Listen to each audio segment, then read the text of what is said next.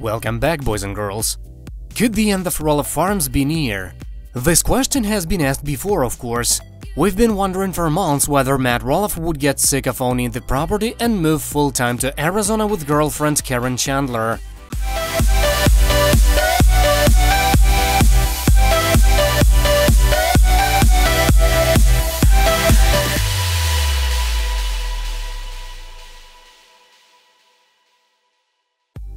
Now, however, we have yet another reason to post this same inquiry, following Tuesday night's episode of Little People Big World.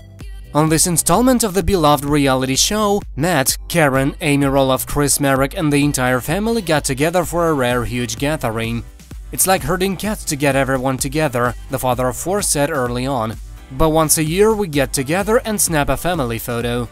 With pumpkin season on the horizon, easily the farm's busiest and most profitable time of year, one would have assumed that Matt would have been in an especially upbeat mood in the episode. But one therefore would have been mistaken. Matt revealed that the season takes a toll on him every year and that such a feeling has only grown worse as he's grown older.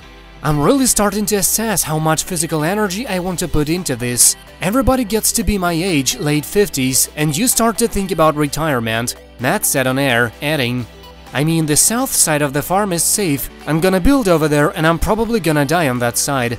But as far as the north side of the farm, that is up in the air for sure. As previously mentioned, Matt has said before that he's open to selling the farm. He has never sounded as exasperated as he did during this episode, however. Amy, meanwhile, who sold her segment of the land to Matt last year, admitted it was a possibility that this could mark her last time working at the pumpkin farm. It really is starting to feel like the end of a Roloff era.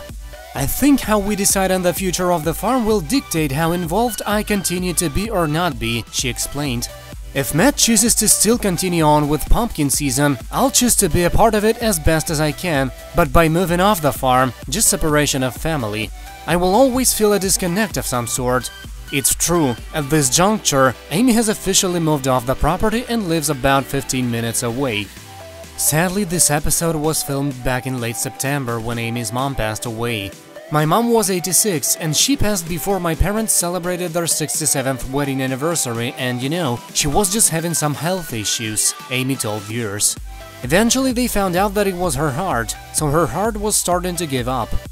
Amy had to fly to Michigan for the memorial service. This meant that Amy ended up missing pumpkin season for a very personal and understandable reason. Tearing up on the episode, Amy said her mother's death made her reflect on her own life, a common occurrence for those mourning a parent, or anyone really.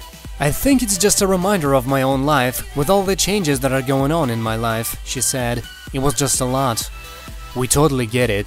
Sort of puts everything in perspective, doesn't it? Yes, the future of the farm matters, but family is what really matters. And even if the farm gets sold, and even if it gets sold outside the family, the love the Roloffs have for each other will remain. That's it for now, thank you for watching, please subscribe to stay tuned.